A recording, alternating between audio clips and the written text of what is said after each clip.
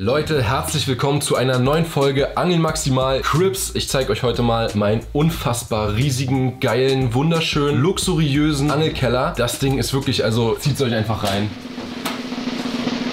locker 6 Quadratmeter. Also locker 6 Quadratmeter, vielleicht auch 7, äh, 6,5 sagen wir mal. Ich habe es geschafft, hier mein ganzes Tackle unterzubringen. Um jetzt ehrlich zu sein, der Keller ist natürlich nicht groß. Er ist besser als der Keller, der zu meiner Wohnung gehört, denn ich musste mir den extra mieten hier, weil ähm, der wirklich sehr klein ist, der zu meiner Wohnung direkt dazugehört. Und der reicht jetzt gerade so. Ich habe gedacht am Anfang, als ich ihn leer gesehen habe, ja, kriege ich locker alles rein. Aber ey, ich habe wirklich zwei komplette Ladungen von einem Kleintransporter voll gemacht, um den hier einzurichten. Ja, was ich hier so alles eingerichtet habe, wie ich das aufgeteilt habe, was ich hier alles an Tackle reingestopft habe, das seht ihr jetzt.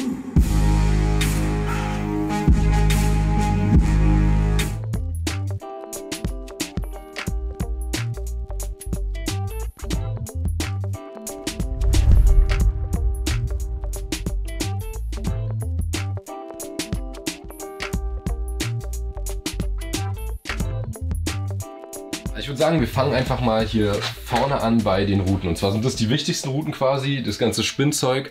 Ähm, Habe ich jetzt hier in diesen ja, Routenkondom, in diesen äh, Rod Sleeve Dingern. So was wollen wir bei ZEC auch machen, ist schon äh, in Planung, aber bisher äh, ja, sind die von Angeljoke. Da habe ich mir jetzt übrigens diese Dinger hier bestellt, die es auch bei ZEC gibt, weil mich da ganz viele Leute in der Story direkt nachgefragt haben, ob man die kaufen kann. Ja, die kann man äh, theoretisch auch kaufen. Die kosten auch ein bisschen was, aber die sind halt auch wirklich, äh, sind halt wirklich massive, fette Teile, die eigentlich für die Läden sind, um die Routen da reinzustellen. Passen 20 Routen rein. Ich habe jetzt aber natürlich Rollen dran, das heißt, mit Rollen passen nicht so viele rein. Da wären es ungefähr so, ich sag mal 10 würde ich auf jeden Fall locker reinkriegen. Hier vorne erstmal Barschrouten, das heißt Barsch-BCs, äh, Barsch-Spinnrouten, ja, die äh, Swift, Sparrow, Pitchcast, ähm, noch eine Pitchcast-Muster, äh, was ich aber auch noch nutze. Und dann habe ich hier hinter so die äh, Cherry Sticks, ja, auch in den verschiedenen Längen halt. Da habe ich nicht überall eine äh, Rolle dran, weil ja, ich halt ja nicht mit so vielen Routen gleichzeitig angel und die Rollen muss ich auch tatsächlich immer noch bezahlen, leider. Da kann man auch nicht dann so viele haben bei den ganzen Routen. Die restlichen Baitcast-Routen hier auch noch,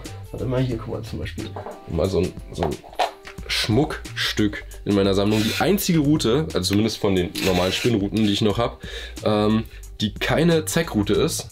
Das ist eine Depths Sidewinder The Outcross GT, GP natürlich, GP, Grand Performer oder so heißt das. Also die Tackle Freaks, die äh, wissen, was das ist.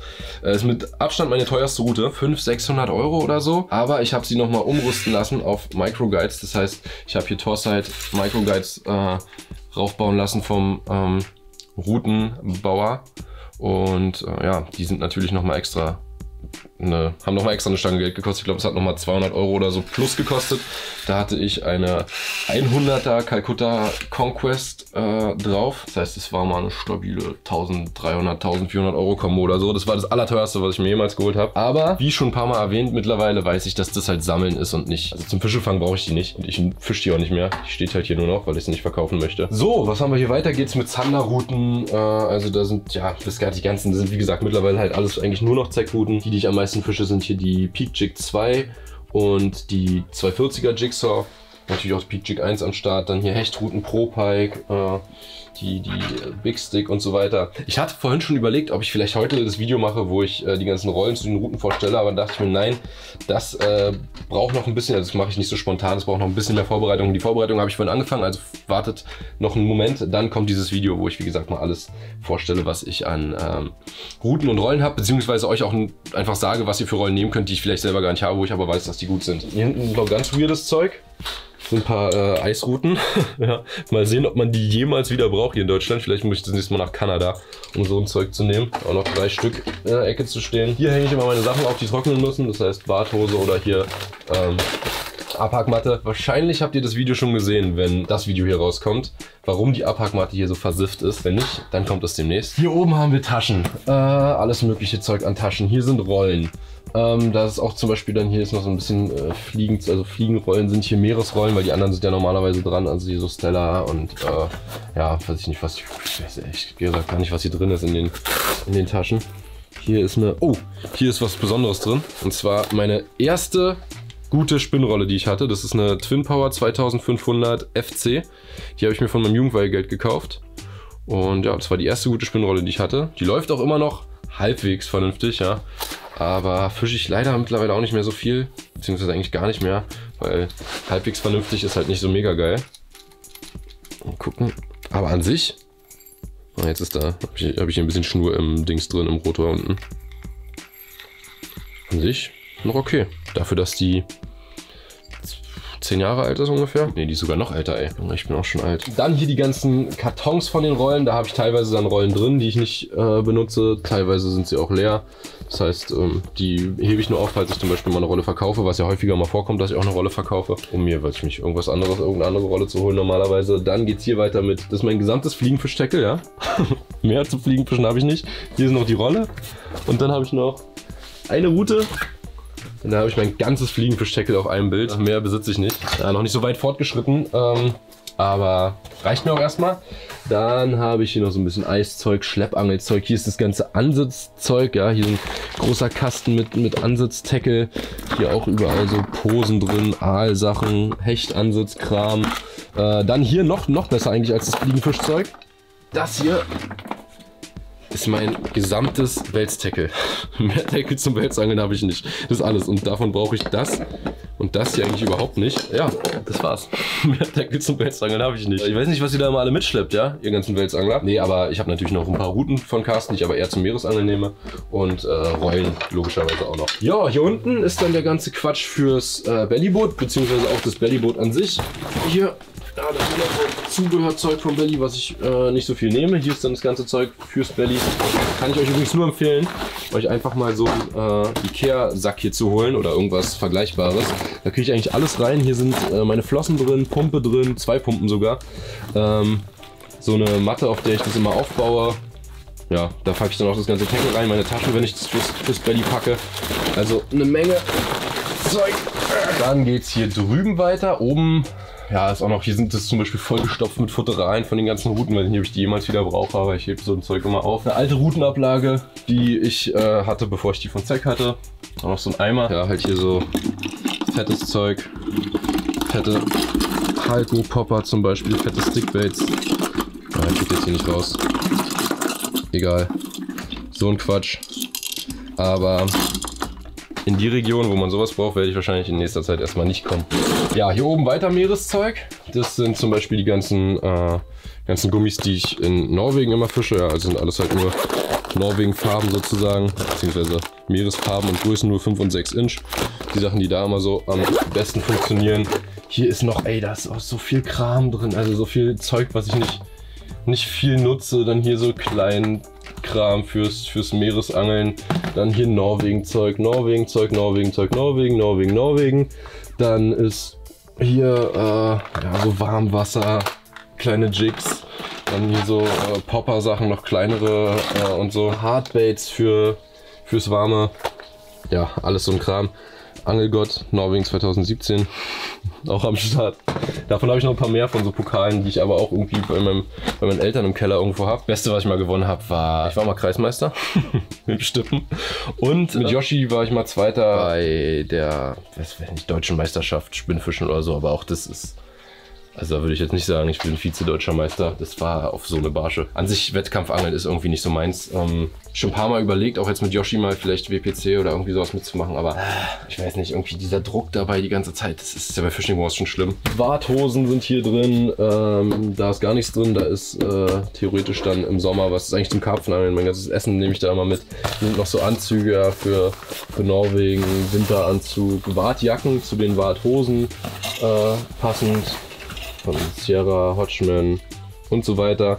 Hier unten meine ganzen Angelschuhe, äh, also Wartschuhe, fette Schuhe für, für den Winter, aber auch zum Beispiel sowas hier zum, zum äh, Felsenangeln, ja, wo man einfach äh, quasi barfuß reingeht und dann äh, nass werden kann. Nehme ich auch immer so, wenn ich irgendwo vom Ufer im äh, warm am Meer angel. Dann haben wir hier zum Beispiel Sachen, die noch gar nicht einsortiert sind. Das sind alles Skirted Jigs. Ähm, dazu gibt es nochmal ein extra Video. Ich hoffe mal, wenn das Video rauskommt, sind die nicht alle ausverkauft. Ein großer Teil war jetzt neulich schon ausverkauft. Das ist eigentlich das wichtigste Regal. Da bin ich auch mal gespannt, was das so aussieht. Sind, sind glaube ich, 16 Euro gekostet, das Regal. Ein richtiges, billiges Teil. Wenn das nicht unter der Last von meinem ganzen Tackle irgendwann mal zusammenbricht, dann ist es auf jeden Fall stabil. Unten so viel Zeug zum, zum Rollenwarten zum Beispiel. Ja, hier sowas. Äh, da ist alles drin, was ich zum Rollenwarten brauche. Die ganzen Öle und äh, Saubermachzeug. Und hier sind noch so Ersatz, Knobs und sowas. Also ein ganzer Kram hier eigentlich auch richtig geile Teile in Rot steht Bass or Die drauf. Ja, was soll ich damit? Die sind rot. Passt zu keiner von den Tech-Routen mehr. Also, wer mir als erstes schreibt, der kriegt die nicht. Das ist so das allerwichtigste Fach.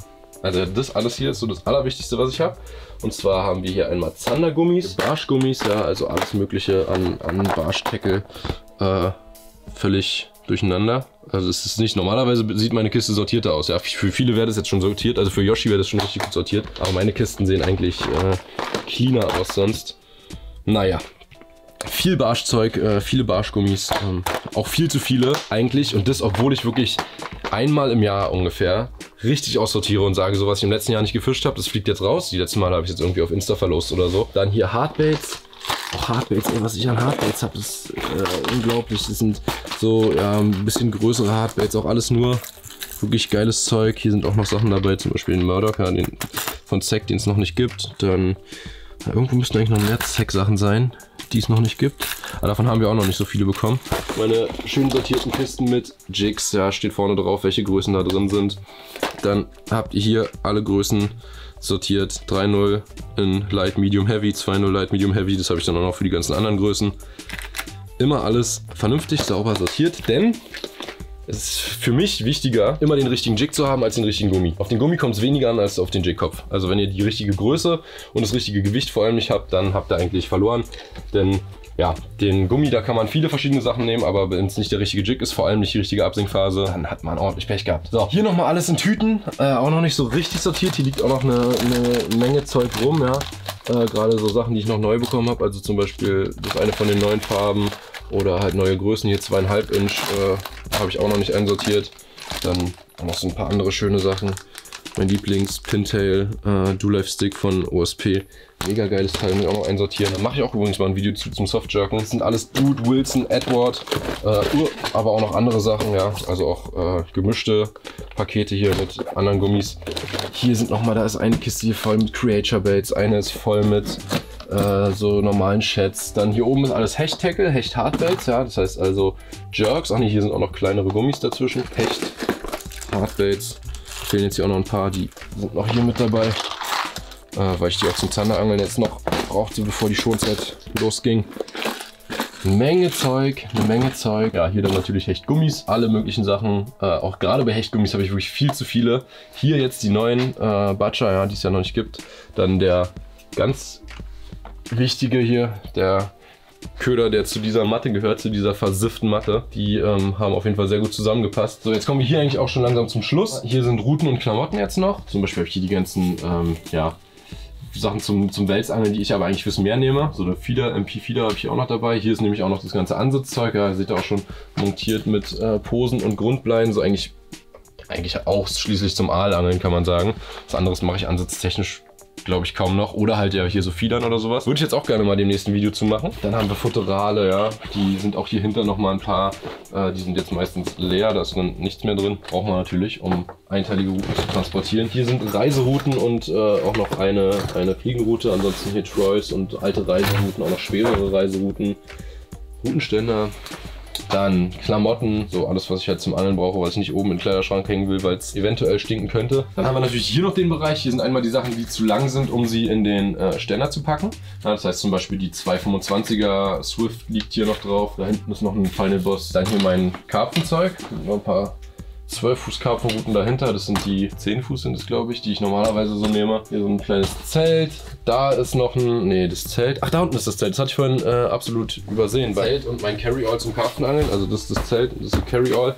Äh, das gehört noch in die Ecke quasi. Hier steht normalerweise mein Boot, das Tasca. Das übrigens äh, jetzt auch verfügbar ist wieder. Aber in dem neuen Tasca habt ihr jetzt entweder einen Luftboden oder einen Aluboden. Könnt ihr euch aussuchen. Könnt auch eins von beiden später noch nachkaufen. Luftboden habe ich jetzt hier bei dem. Ist natürlich besser vom Packen und vom Transport, weil das Ding rollt aus, pumpt's auf und könnt losstarten. Äh, mit dem Aluboden die Sache, die Variante ist dann natürlich robuster. Könnt ihr dann auch mit 15 PS äh, fahren. Also wirklich extrem großer Motor für ein Schlauchboot. Fette Liege in einer fetten Liegentasche. Das ist diese Fox MK 3 oder 2, glaube ich, heißt sie. Ich habe wirklich, also da kenne ich mich so schlecht mit aus, dass ich da jetzt nicht ähm, den Namen sagen wollen würde, aber die Liege ist so geil, ey, die war besser als, zumindest besser als mein altes Bett. Hier sind nur noch so ein paar wasserdichte Taschen, die ich zum Beispiel auch zum äh, Karpfenangeln mitnehme, ja, damit meine Klamotten nicht nass werden. Hier unser äh, Spundwandkescher, hier unser Kescher hier, wie heißt das Ding? Äh, Floating Rubber Net, so ein Bellyboot-Angeln oder so. Hier schmeiße ich immer noch so meine Taschen hin, die ich gerade in Benutzung habe. Die ist noch nicht gepackt,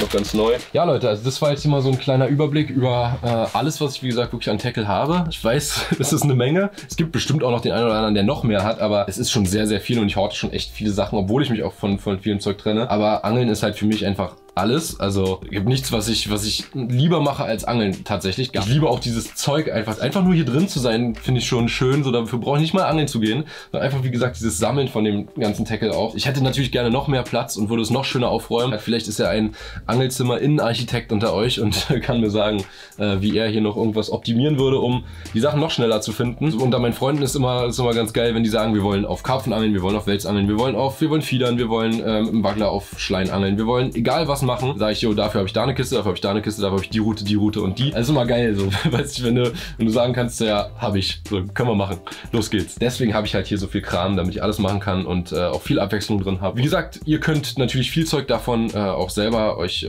ja, für euren Angelkeller holen, wenn ihr zum Beispiel so Routenständer braucht, haben wir bei Zack oder ähm, die Routen, Köder, allen möglichen Kram. Natürlich auch mit dem Code Maxi dann immer noch ein Geschenk gratis dazu. Ich glaube zum Beispiel diese Dinger hier, die extrem praktisch sind, die kann man sich auch mit den Codes äh, dazu nehmen. Und von denen seht ihr, habe ich hier echt eine ganze Menge. Da kann man alles reinmachen. Die habe ich auch noch überall verteilt für andere Sachen. Insgesamt, wie gesagt, äh, haben wir viel schönes Zeug da, was ihr mit meinem Code nicht billiger bekommt, aber was umsonst. Das war's. Wir sehen uns in der nächsten Folge dann wieder draußen irgendwo am Wasser. Haut rein, bis zum nächsten Mal. Ciao.